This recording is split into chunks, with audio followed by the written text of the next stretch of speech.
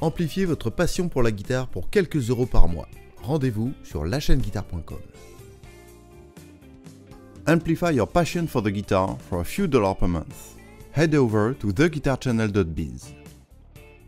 Welcome to the Guitar Channel, welcome to La Chaîne Guitare. I am super happy to welcome you a new uh, confinement uh, stay at home uh, interview. I have uh, on the other side of the Skype uh, connection the one and only uh, Oz Noy, live from uh, New York City. Oz, how are you doing uh, today? I'm good, considering Yeah. the situation. yeah. Um, uh, last time we met, I think it was during the Winter NAMM uh, 2019. So we are going to talk about the current situation, but uh, what's new since uh, last time we did an interview? Um, what's new?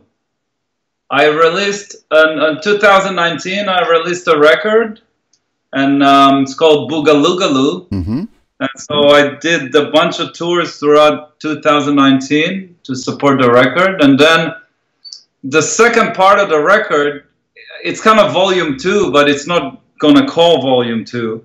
It's supposed to come out in September. Now I don't know what's gonna happen with this whole situation now, but there's a new record that it's completely finished and ready to be released. So I don't know. It, I might have to wait with it till next year because it doesn't make sense to release a record if you can't tour. hmm And what is And believe it or not, I have a tour booked already in the U.S. for September, but I don't.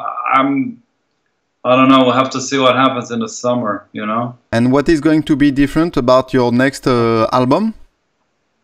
It's still that kind of boogaloo kind of vibe. It's it's all different because it's different tunes and stuff. But um, um, the story was that the the first record, the Booga Looga Loo record, it was supposed to be one album, but I went to record and I recorded too much music. hmm So we were thinking I didn't want to cut tunes out. So we decided, and I thought maybe I should release a double album, which didn't make sense. So the guy from our record company says just release two albums, which I wasn't that happy about because I don't like to release stuff that is that I already played longer than a year or two. You know what I mean? But um, I, I I went in the studio and recorded a couple more tunes because I missed a couple of tunes. So I have two records out of that one project, really. You know. Mm-hmm. Uh, tell us a little bit more about the situation at the moment in uh, New York City, and then after that, you will tell us what's the uh, impact on your current situation as a working musician. Well, the situation in New York is probably. I'm staying at home, so I live on the Upper West Side. You know, I go out to just buy some groceries, maybe take a Pour le prix d'un magazine, abonnez-vous à la chaîne Guitare pour accéder aux vidéos intégrales.